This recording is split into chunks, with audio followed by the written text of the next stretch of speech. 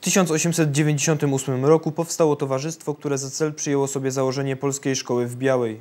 Adam Asnyk jako prezes Towarzystwa Szkół Ludowych postanowił, aby w Białej, mieście, które było miejscowością zgermanizowaną, powstała pierwsza polska szkoła średnia.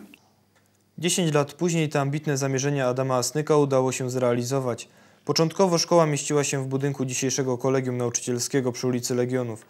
Od 1948 roku znalazła miejsce w budynku, który odebrano siostrom zakonnym. Po wojnie szkoła w zależności od historycznych zawirowań angażowała się w różne wydarzenia. Na przykład kroniki szkolne mówią o uroczystych obchodach Święta Pracy i Międzynarodowego Dnia Kobiet. Mury uczelni opuściło już wielu znanych bielszczan, m.in. Zdzisław Ryn, profesor z Uniwersytetu Jagiellońskiego, artystka Lidia Sztwiertnia oraz Kazimierz Polak, dyrektor 5 LO. Musimy być inni. Ta nasza inność polega już na czymś, co zmierza w kierunku współczesnych działań, to znaczy formułujemy specjalne programy dydaktyczne. Szkoła przede wszystkim promuje wartości klasyczne, które wywodzą się z kultury starożytnej.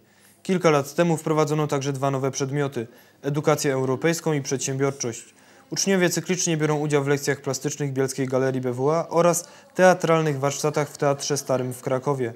Od kilkudziesięciu lat szkoła prowadzi także wymianę zagraniczną.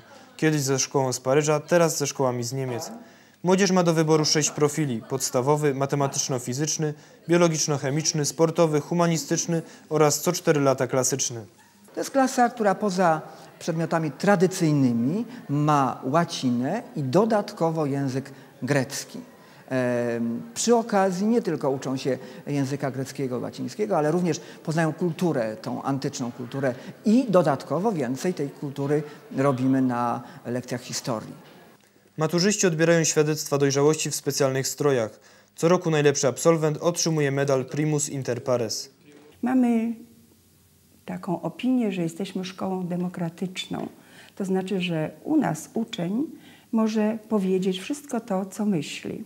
Co więcej, staramy się, aby wszystkie programy, które wypracowujemy, program wychowawczy szkoły, program rozwoju szkoły, czy najzwyklejszy plan pracy powstawały w konsultacji z naszymi uczniami.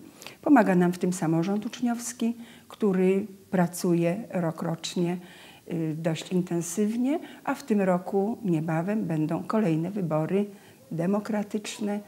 Będą się odbywały tak jak prawdziwe wybory parlamentarne na terenie całej szkoły. Samorząd szkolny organizuje spotkania z ciekawymi ludźmi, sportowcami, politykami, filmowcami. U nas polega to na tym, że z każdej klasy wyznaczamy jednego przedstawiciela i właśnie w skład naszego samorządu wchodzi e, ten przedstawiciel. Ja jestem akurat wiceprzewodniczącą wybraną jeszcze z tamtego roku. Nasza praca polega przede wszystkim na tym, żeby uczniowie mieli coś do powiedzenia w tej szkole, żebyśmy mogli, żebyśmy mogli mieć na to jakiś wpływ. Kilka lat temu liceum imieniem Asnyka obchodziło 90-lecie swojej działalności.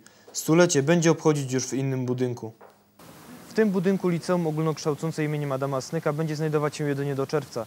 Wtedy budynek zostanie zwrócony Zgromadzeniu Córek Bożej Miłości, które teraz prowadzą tutaj gimnazjum, a w przyszłości mają zamiar otworzyć liceum. Decyzja o tym, gdzie przeprowadzi się Asnyk, zapadnie w ciągu najbliższego tygodnia. Puls Bielska, Łukasz Maśka.